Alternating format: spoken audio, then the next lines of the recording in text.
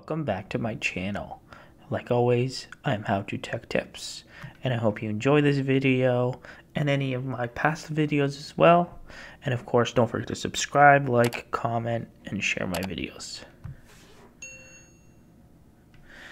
Whenever you want to do something on your hard disk that has the operating system and all your files on it, it can be a little bit stressful, especially if you try to you know, change the name or whatever. You don't want it to crash. I get it. I would be as well. But there's a there's an easier way on doing what I'm about to show you. You can do it right from the Finder on Mac, which is great, easy, convenient, and fast. So, today I'm going to be showing you guys how to rename a disk on your Mac OS. So let's jump into it. So first we're going to want to open up Finder and from here we're going to want to go to the toolbar at the top and left click on go and then go all the way down to computer and here you can see that the hard disk is just called Macintosh hard disk so we're going to left click, I mean, sorry, right click.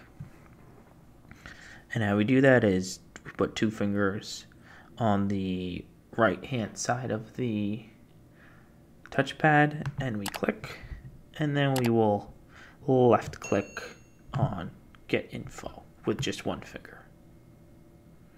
So here it just says Macintosh HD, which means hard disk. Here I'm going to change it to Patrick's hard disk.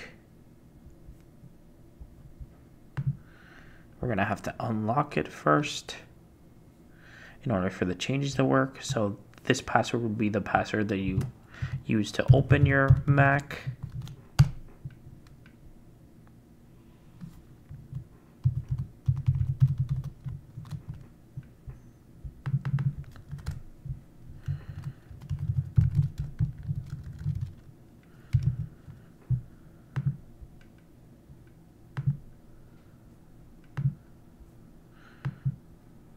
And that's it. And then it will automatically change by itself.